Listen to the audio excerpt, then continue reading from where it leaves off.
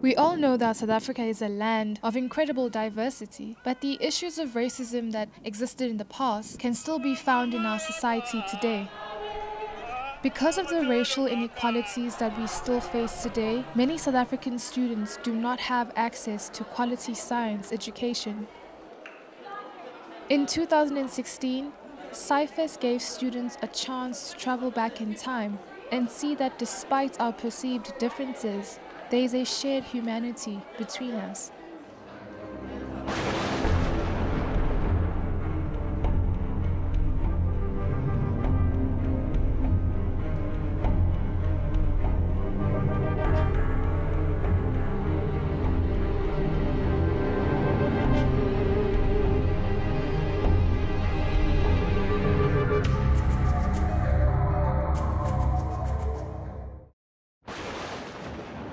Human is that you you learn or you you can communicate more complex things or even things like oh you can you can build tools or you use tools right? Well we know other animals use tools as well and they can manipulate their environment and it's, it's interesting. What does make us maybe maybe actually what makes us who we are is that we ask that question. I have I have no idea but it's not it, it has become abundantly clear to me that uh, that is not a question that you can answer easily.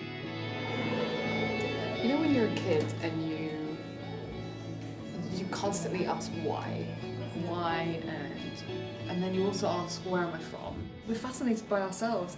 In fact, maybe we shouldn't put it like that because that's kind of quite self-centered. But we are fascinated with where we came from.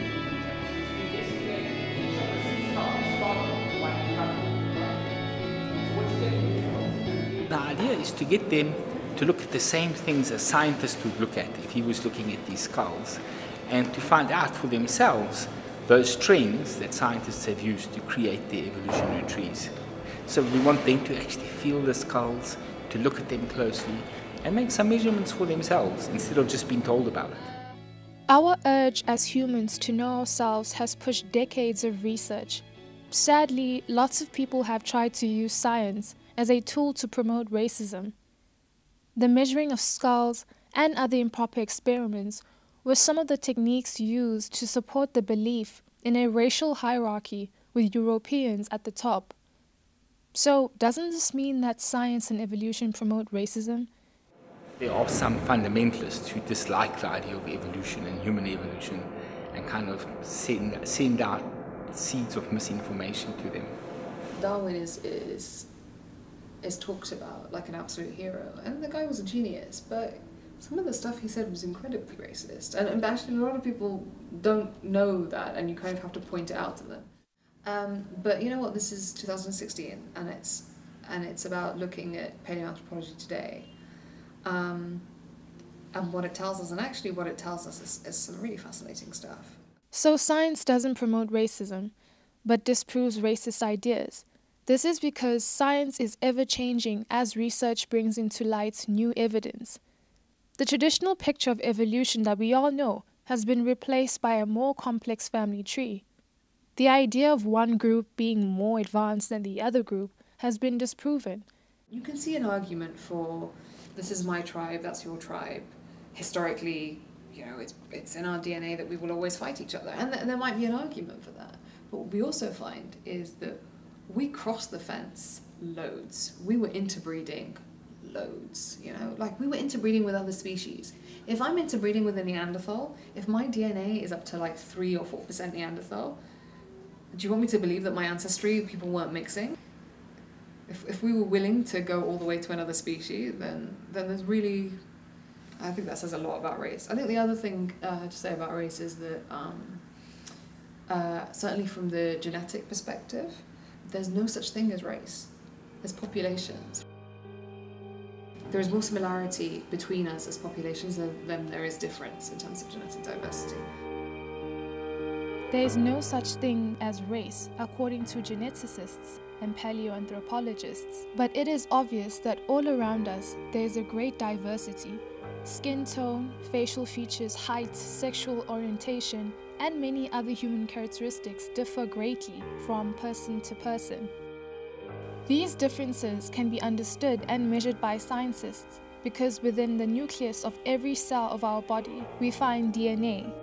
Four basic molecules combine in countless ways to write the code of who we are. This doesn't mean that certain groups are inferior to others. In fact, science claims the opposite. There's like over 27 genes that determine what color you are. Um, there's and like so many genes that influence like your height, this, that, and the other. But the thing is, genes isn't the whole story. So, for example, you might have the genes that in combination will make you tall, but then if you're malnutritioned, you're not going to be tall. Um, you, you might be the next Albert Einstein in terms of, you know, you might have the, the genes that make you really, really smart and intelligent, but if you're in a stunted environment, you've got other priorities. With South Africa's history of racial segregation, many people of color still live in conditions where a strong science education is not prioritized. This lack of skills development has not only perpetuated racial stereotypes, but holds back scientific potential from which we could all benefit.